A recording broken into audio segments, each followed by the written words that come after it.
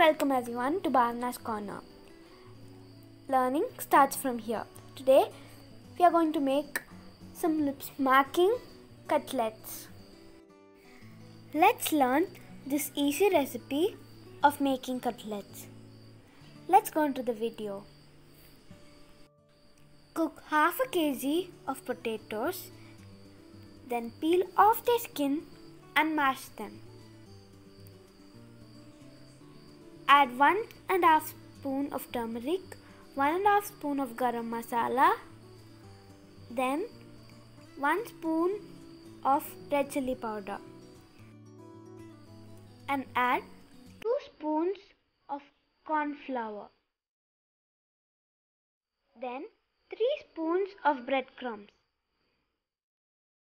Knead those mixture, add 2 chopped green chilies and 1 grated carrot, a handful of coriander, then 2 medium sized onions which are finely chopped, then ginger garlic paste and some salt to taste.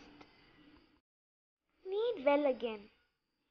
Now let's take a little bit of the masala and mold it into small patties.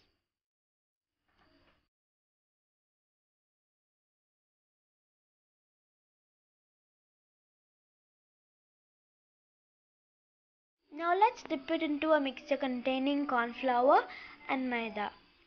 Then coat it with breadcrumbs. This will make a cutlet more crispier. I guess a patty is ready.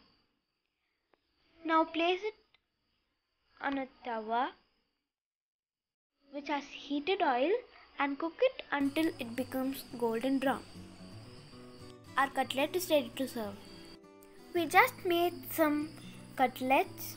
I'm sure you're going to make your family members thunderstruck by making these yummy cutlets. And they will surely praise you as a master chef. These cutlets will just take 10 minutes of your time if you sincerely work for this.